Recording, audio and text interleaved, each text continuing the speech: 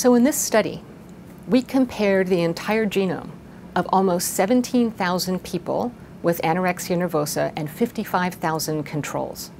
And what we were able to do was locate eight positions on the genome where there were differences between those two groups.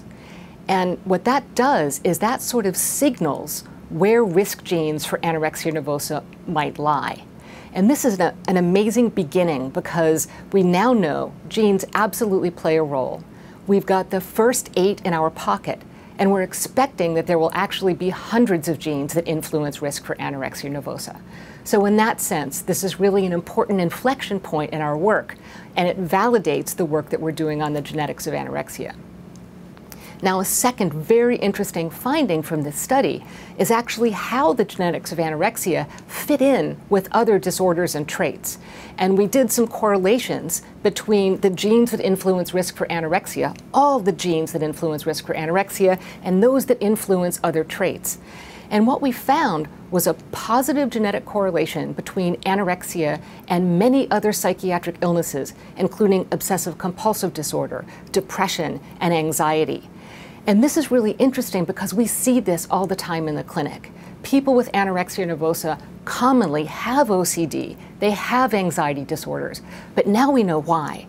Now we know that the reason is that the same genes are actually influencing risk for those disorders.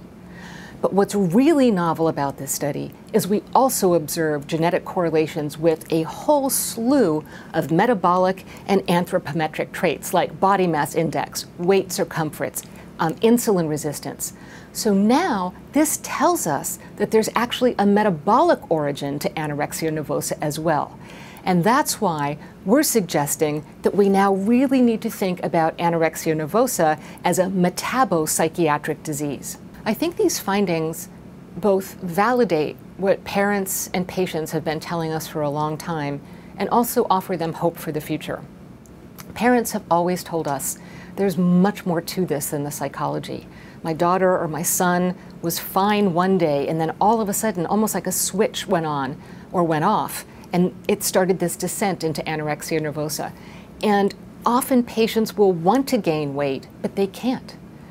And one of the things that we see so often is we'll bring someone into the hospital and re-nourish them, we'll stabilize their weight, but they often get kicked out of hospital too soon before their bodies have really had a chance to re-equilibrate at that healthy weight.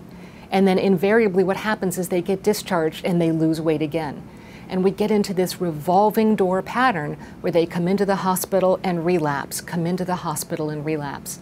And that is so demoralizing for patients, for parents, and even for the caretakers. So I think this study is really telling us that we need to focus on both the psychiatric and the metabolic factors. And by doing that, we might improve the treatments that we're able to deliver to these individuals. And then hopefully down the line, we'll actually be able to develop medications that target the underlying biology of the illness.